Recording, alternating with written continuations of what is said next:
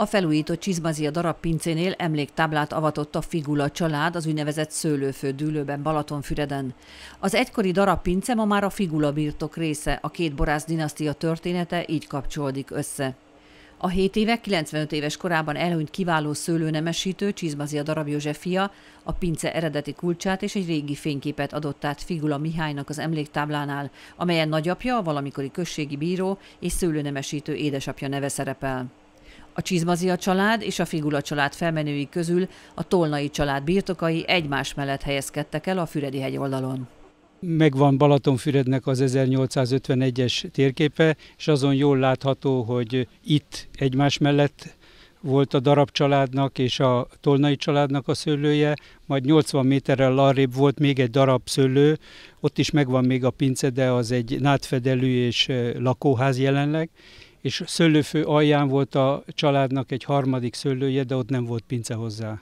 Borzasztóan örülünk annak, hogy Balatonfüreden ez a pince pinceként fog tovább működni, és a borkedvelők ide jöhetnek és egy pohár bort elfogyasztanak, hiszen ez nagyon fontos, hogy a tradíció, a szőlőhegy, ez a szőlőfői dűlő, ez tovább fog élni Balatonfüreden. Erre méltónak kell lenni, úgyhogy olyan munkát kell végeznünk, ami majd száz év múlva, hogyha tegyük fel, itt majd megint áldogál két utód, legyen így egyébként, akkor úgy fognak visszaemlékezni erre a korszakra, hogy mi azt a munkásságot, amit a dédszülők, a nagyszülők, vagy, vagy akár az édes, édesapám is tett, ezt mi méltón folytattuk.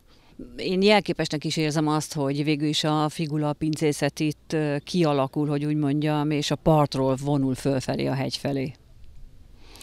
Igen, az igazság az az, hogy mi itt érezzük jól magunkat, mint ahogy a dédszülők is itt érezték jól magukat. Valószínűleg ez nem véletlen. Rengeteg anekdótát hallottam arról, hogy a jó rizling az olyan, amiből iszunk egy pohárral, és amikor hazasétálunk, akkor még mindig érezzük a, az ízét. A mi családunk a Siske utcában lakott, a Csizmazia család a Vázsonyi úton, nem kellett olyan nagyon távol sétálniuk egymástól, és innen indultak mindketten.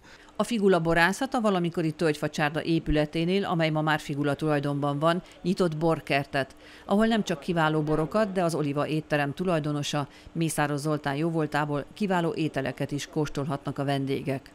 Az emléktábla avaton és borkert megnyitón dr. Bóka István polgármester is gratulált a családnak az önerőből végrehajtott fejlesztéshez. A Figula család évtizedek óta meghatározója a balatoni borászatnak, a füredi borászatnak. A mai napig előttem van, és szerintem soha nem lehet elfelejteni édesapjának a képét, a beszédét, a humorát, a borkostolóit, amíg az ember él, ez örökre ott lesz előtte. És Mihály szerintem jól folytatja ezt az örökséget. A Figola család évtizedek óta vezető borásza Magyarországnak és Balaton Fürednek. Évtizedek tervezése után ezt az épület komplexumot szinte teljes mértékben saját erőből, önerőből valósította meg el hivatottságból, és aki most látja ezt a teret, látja ezt a kertet, borkertet, amit avatunk, látja ezeket a gyönyörűen felújított épületeket, az csak azt tudja mondani, hogy egy szívből gratulálunk a borászok borászának, és csodálatos pályafutást kívánunk neki. A Figula borkert a száz éves tölgyfák árnyékában nagyszerű panorámát kínál a Balatonra.